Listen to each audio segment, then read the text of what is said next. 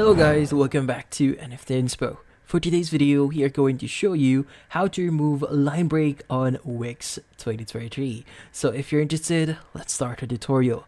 So first thing that we need to do here is we need to go to wix.com and log in into our account. Now once logged in into your account, the next thing that we want to do is we need to edit our site. So in the setup page here, go ahead and click on edit site and you should be able to see the editor page for your website. Now in this case, let's just wait for it to load up. But once it loads up, we want to start adding our text and removing the line, break, line breaks on it. So in this case, let's just wait for it. And in here, what we need to do next is we need to add our text. So go ahead and click on add elements here. And we want to choose the section here that we want to use. Like for example, we want to use this one. So let's go ahead and drag it into our website.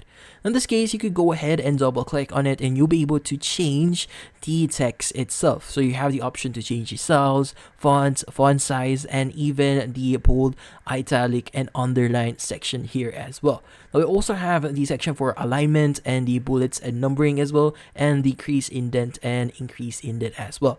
Now in this case, if you want to remove the line break here, like for example, the text here says I'm a paragraph, click here to add your, which actually cuts off after the your section. So in this case, we want to remove this uh, interaction here. So how do we do that?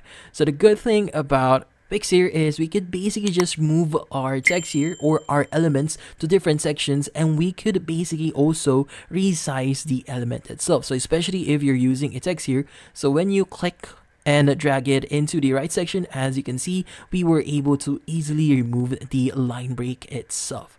Now in this case, if the section here doesn't actually adjust itself though, so it might mean that there's actually a line break here. So what you need to do is you just need to click on the very start section here of the text that was cut off. Just press on the backspace on your keyboard and it should remove those line break. But yeah, so Wix is actually really cool about this one because we'll be able to directly interact with the element itself and readjust everything on our site and it's just really cool. So yeah, so that's about it. So hopefully this video was able to help you like and subscribe to NFT Inspo. Thank you for watching